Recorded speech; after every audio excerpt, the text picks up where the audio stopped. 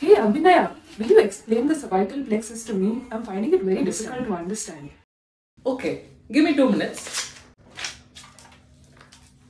A few moments later. Here you go, Nandita. Oh my god, this is so complicated. This is a wonderful and detailed diagram of cervical plexus and its branches drawn by Dr. Abhinaya. Let's decode this and understand the cervical plexus in a step-by-step manner. As a regional anesthesiologist, we need to remember four plexuses by heart. These are cervical plexus, brachial plexus, lumbar plexus, and the sacral plexus. I have already made separate videos on anatomy of lumbar plexus and sacral plexus. You can check out these videos from the i button above or from the description and the comment section of this video. Today we are going to discuss about the anatomy of the cervical plexus relevant for the regional anesthesia. The cervical plexus is considered as the plexus of loop. I remember this as a plexus of 3 Please watch the full video, you will gradually understand this.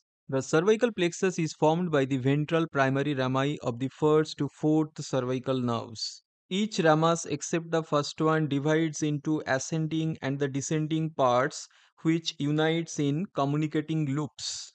C1 is not important for regional anesthesia, it is purely motor and supplies the suboccipital muscles. The branches of the superficial cervical plexus innervate the skin and superficial structures of head, neck, and shoulder, whereas the deep branches of the cervical plexus innervate the deeper structures of the neck, including the muscles of the anterior neck and the diaphragm. Here, C3, C4, and minor contributions from the C5 forms your favorite nerve that is the phrenic nerve which we always want to protect so ultimately as you can see three roots are important for us related to cervical plexus. The branches from the cervical plexus can be divided into branches from the roots or the rami, the branches from the loops between two roots as you can see these are three numbers and the branches from the ansa cervicalis.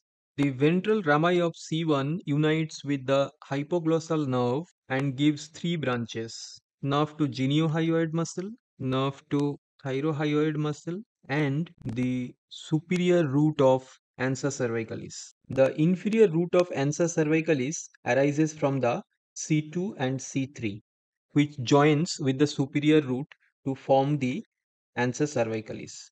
From the ansa cervicalis, four branches arises. You can remember it as three. How? Nerve to sternohyoid, nerve to sternothyroid, and two nerves to omohyoid muscle one for superior belly and another for inferior belly. So coming to the branches from the roots or the ventral rami, here we have one sensory nerve and six motor nerves. So the sensory one is the lesser occipital nerve from C2.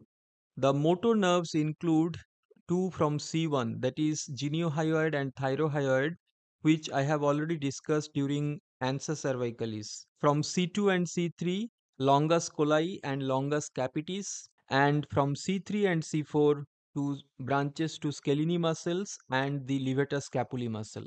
Now the last part that is branches from the loops. We can divide it into sensory branches and the motor branches. The sensory branches are again three in number from C2 C3 one is greater auricular nerve and another one is transverse cervical nerve and from C3 C4 supraclavicular nerve. The motor branches include from C1 C2 loop total 4 nerves.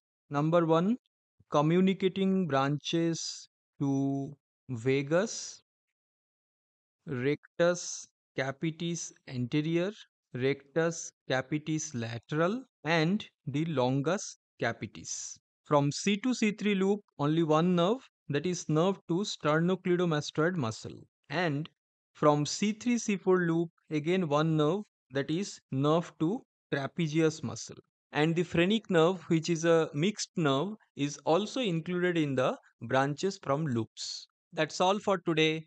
Thanks for watching. You can check out the video on anatomical landmark or loss of resistance guidance superficial cervical plexus block from my channel. I will provide the link in I button and description. I hope this video will help you to understand the cervical plexus better. We'll catch you in the next video. Until then, keep blocking, keep rocking.